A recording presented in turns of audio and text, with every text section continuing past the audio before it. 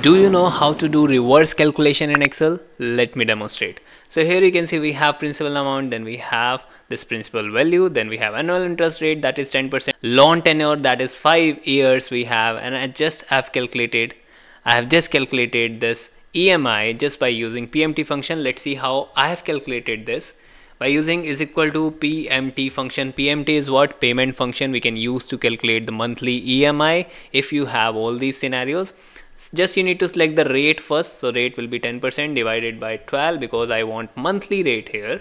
Then you can simply select number of periods. NPER is number of periods. We can select this loan tenure and multiply it by 12 because I want to convert this into monthly scenario.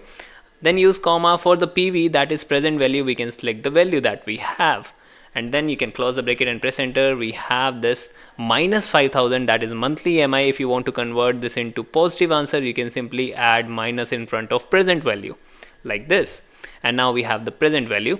And just the main thing that I want to show is what? How we can do reverse calculation. Let's assume if I want the monthly EMI here 10,000 and here I don't know what will be the loan principal amount. What we can do we can select this monthly EMI cell then we can go to data tab and here we have what if analysis.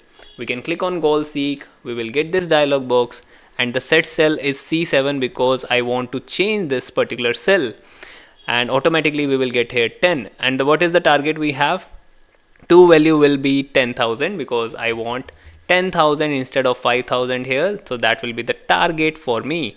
And by changing cell will be what I want to change this loan principal amount but I don't know how much amount I have to add in this loan principal. So I will just use this reverse calculation option that we have in Excel that is goal seek. We can simply select or click on this arrow and select this cell where we have loan principal press enter and click on OK. So this is how you can do the back calculation or the reverse calculation here you can see we have 10,000 and the loan principal automatically change according to the 10,000 EMI so this is how we can do use. This is how you can use goal seek option. If you like this video don't forget to share this video. And if you have any query in excel you can do comment in comment section. And if you want to learn excel like this you can join my paid courses which are available on short and clear excel app or even you can visit my website www.shortandclearexcel.in thank you so much for watching